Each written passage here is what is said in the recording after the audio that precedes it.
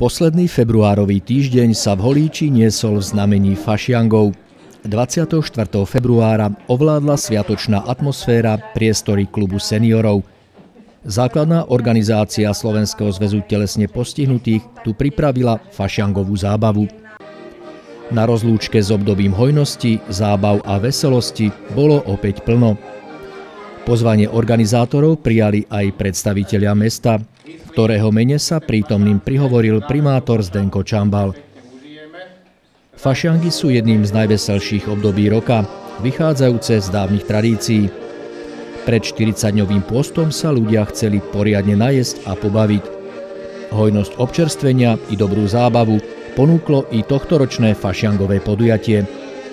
Pri pesničkách podaní záhoráckých heligónkarov vydržala zábava až do neskorého večera.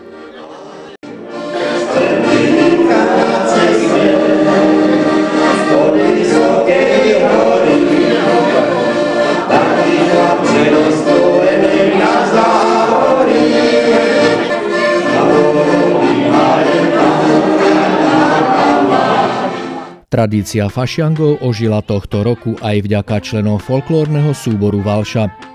Spolu s nimi sa mohli prísť veseliť na fašiangovú zábavu spojenú s pochovávaním basy a na druhý deň, v poslednú februárovú sobotu, sa pridať k sprievodu fašiangárov na pochodsku ulicami.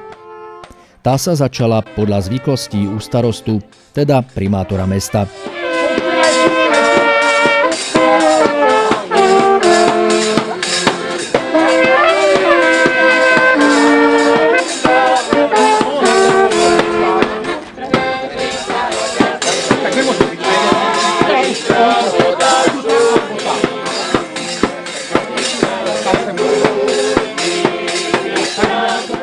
Muzikanti veselými pesničkami pozvali do tanca, hostitelia počastovali návštevníkov kalíškom i koláčmi, pán domu daroval neodmysliteľný groš a klobásu mlsnému na šabľu. Všade, kde zavítal, sa veselý sprievod fašiangárov stretol so srdečným prijatím. Nevšední hostia svojou návštevou oživili aj spomienky jedného z pamätníkov – ktorý sa ako mladý regrút zúčastnil koncom 50. rokov uplynulého storočia poslednej fašiangovej pochôdzky holíčom. Bolo nádhera, ľudí chodilo kolem, teda s nama až od rána až do večera. Tancovalo sa, spívalo sa, popíjalo, pravda, v každém domečku neco cukrového, no a bylo veselo, no, veselo bylo na jedničku. Po podnikoch sme chodili, Tatralán, pečivárne, toľkého národa chodilo s nama, čo ani do roboty nešli, človeče, no, na jedni.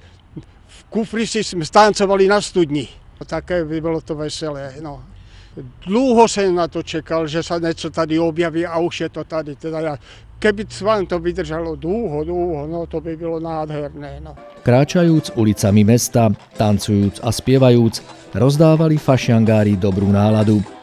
Hudba neunavne hrala a mnohých vylákala na priedomie, kde rozjarených fašiangárov vítali domáci. Mládencom sa pokladnička pomaly zaplňala a pribudalo aj fašiangových dobrôd na šabličku mesného.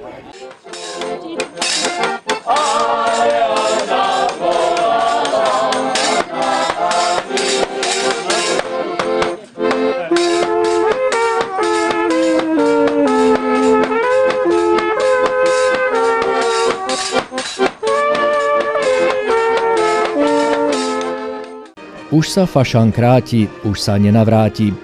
Aj touto pesničkou sa v útorok pred Popolcovou stredou lúčili s obdobím zábav, radosti a veselosti v Holíckom domove dôchodcov a domove sociálnych služieb pre dospelých. K spoločnej zábave organizátori aj tento raz pozvali hostí z odboru sociálnej pomoci z riadovateľského Trnavského samozprávneho kraja i mesta Holíč. V duchu dávnych zvyklostí sa klienti i personál domova obliekli do najrôznejších kostýmov a masiek a pripravili si aj kultúrny program.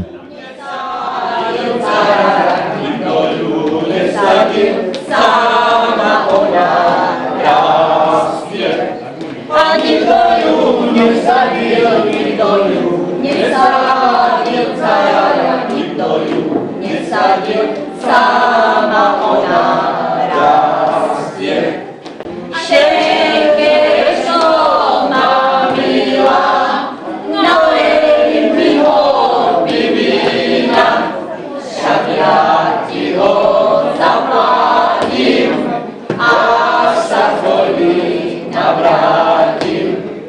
záveru fašiangov neodmysliteľne patrí pochovávanie basy.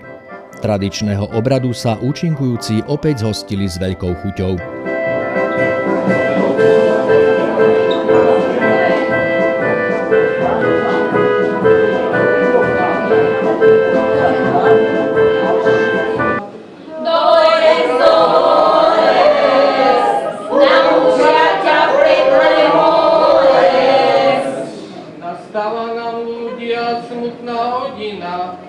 Naša milá basa umiera.